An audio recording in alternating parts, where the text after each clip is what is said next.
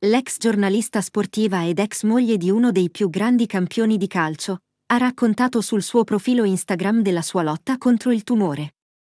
A metà del 2019 si è sottoposta ad un intervento chirurgico, reso necessario dalla presenza di un tumore maligno alle ovaie, e in queste ore ha voluto parlare della sua malattia, ma soprattutto di quanto il tumore abbia influito nella sua vita.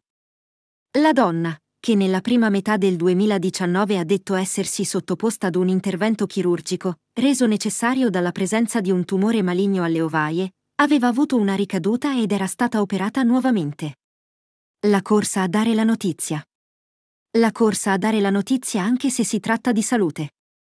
La corsa a dare la notizia anche se si tratta di salute e non pensare alla persona coinvolta. La gara di dare le FOT notizie e non accorgersi del danno che fanno intorno. Deplorevole. Le notizie, aveva scritto all'epoca il marito della giornalista TV. Poco dopo quell'episodio, era arrivata la conferma della fine del matrimonio tra Sara Carbonero e Iker Casillas. A renderlo noto con un messaggio pubblicato sui social erano stati gli stessi ex coniugi. Oggi l'ex giornalista ha deciso di scrivere una lunga riflessione sulla sua malattia e sull'accettazione del cambiamento del corpo. Sono pessima con i selfie allo specchio, ma ieri sera volevo provare delle nuove luci. Quello se ha l'occhio strabico, quello se molto serio, lo sguardo malinconico, quello se sorridi molto di te stesso e molto forzato. Lontana dalla frivolezza che può sembrare, quando mi guardo allo specchio lo faccio per prendere coscienza di me stessa, lo utilizzo come strumento fondamentale per migliorare la mia autostima.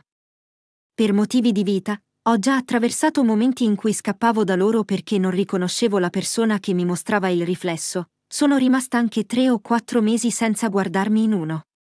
In uno di questi, alla fine del sesto e ultimo ciclo di chemioterapia, ero a letto, incapace di muovermi, e mio figlio maggiore si sdraiava con me.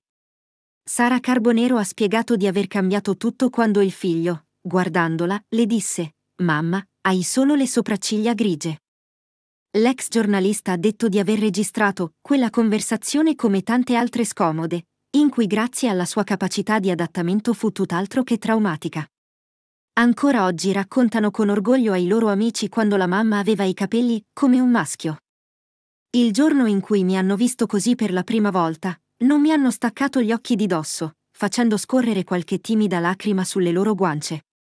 Poi, Abbiamo iniziato a cercare foto di attrici e cantanti carine con i capelli corti e abbiamo iniziato con il puzzle, ha raccontato ancora Sara Carbonero sui social, a corredo di un selfie allo specchio.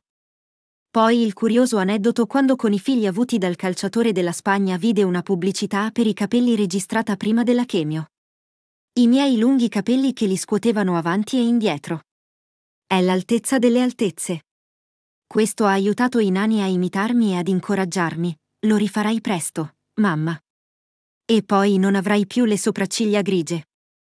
Il video finisce qui, ma se sei interessato alle news puoi iscriverti al canale e attivare la campanella per non perderti nuovi video.